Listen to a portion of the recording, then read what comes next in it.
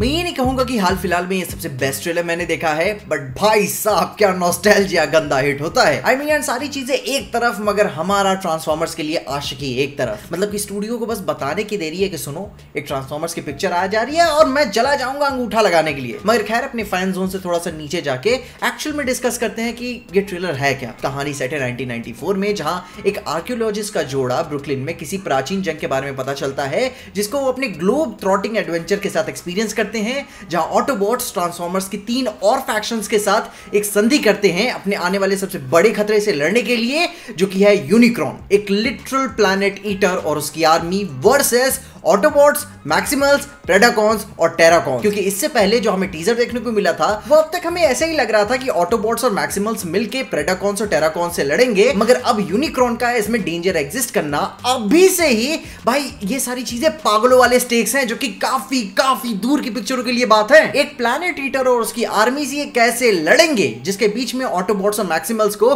प्रेडाकॉन्स और टेराकॉन से भी निपटना है और अपने आपसी मतभेद को भी दूर करना है। अब खैर इन्होंने अपनी गांड पे दिया तो बारी लिया है तो देखते हैं इसे कैसे हैंडल करते हैं। मगर अभी बोरिंग स्टफ़ पे जाने से पहले मैं ये बात बताना चाहता हूँ कि ट्रेलर देख के मैं बहुत एक्साइट हो गया था। मुझे बहुत मज़ा आ रही थी, मैं काफ़ी चिल्लाने की कोशिश भी कर रहा था, लेकिन काफ़ी सोचने, विचारने के बाद मैंने ये बात महसूस भी की कि पीजे का ट्रेलर तुझे एक्चुअली में बहुत ज़्यादा दमदार लगा था? या फिर बस तेरा नॉस्टैल्जिया तुम्हें हिट कर रहा है। एंड बाय दैट मीन्स अगर आपको भी ये फील हो रहा होगा कि जिस हिसाब से इसकी सिनेमाटोग्राफी है ट्रांसफॉर्मर्स को जैसे प्रेजेंट किया गया है, उनका सीजीआई भी जैसा है, बहुत ज़्यादा इंप्रेसिव नहीं है। जो कि मैं मानता हूँ कि भाई, बाइज्जत तौर से अपने सोर्स मटेरियल के लिए बहुत ही ज़्यादा क्लोज थे, मगर जो सब्सटेंस की बात होती है, वो कुछ खास नहीं था। मगर मैं फिर भी इसे देखने जाऊँगा, ज़रूर देखने जाऊँगा। जो कि मेरा इसके लिए डर, इसके अर्ली रिएक्शन एंड रिव्यू से थोड़ा थोड़ा मेल भी खा रहा है अनफॉर्चुनेटली मगर फिर भी ऑप्टिमस प्राइम भैया ने बुलाया है और हम ना जाए, ऐसा हो नहीं सकता है। जिसमें मुझे एक्चुअली में यूनिक्रॉन का कॉन्सेप्ट बहुत ही पसंद आया एंड ट्रांसफॉर्मर्स के लोर में एक्चुअल में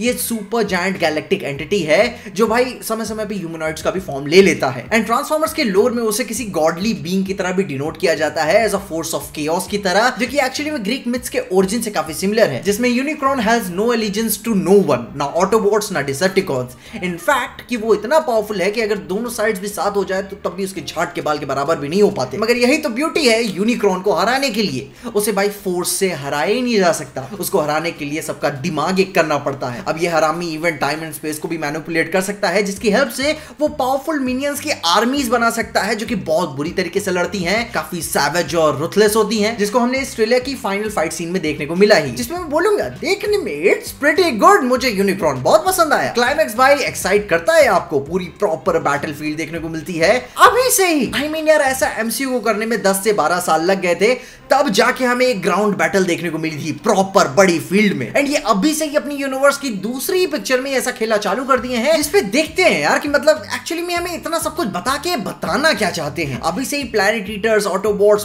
battlefield Transformers उनकी पूरी कुंडली सब कुछ बता देने का मतलब क्या होता है? कि चाहे तो भाई एक्चुअल में वो अपनी लोर को इज़्ज़त करते हुए फॉर रियल फिगर आउट कर चुके हैं कि कहानियाँ इज़्ज़त से और प्रॉपर इंटरटेनमेंट के साथ कैसे दिखानी है। क्योंकि जिसपे से बता दूँ, इस पिक्चर के बाद ही अगले साल ही जुलाई में एक सीक्वल हमें देखने को मिलने वाला है, जिसको टॉय स्टोरी 4 के डायरेक्टर डायरेक्ट करने वाले हैं। एंड इसके बाद हमें ब्लू बीटल के डायरेक्टर भी ट्रांसफॉर्मर्स की तीसरी, नहीं, इस रिबूट की चौथी पिक्चर बनाते हुए नज़र आने वाले हैं। मैं बता रहा हूँ, ये पूरा प्लान बना के रखे हुए हैं, तुम्हें सांस भी लेने नहीं देंगे। और क्या गुड़ा गणित बना के रखे हुए हैं। भाई, वो तो रिलीज़ के बाद ही पता चलेगा। या फिर जो इतना कुछ ठूसा इन्होंने अपनी इस कहानी में, ये हो सकता है कि अभी भर के दिखा देते हैं ताकि आगे के लिए चीज़ें सेफ़ हो जाए।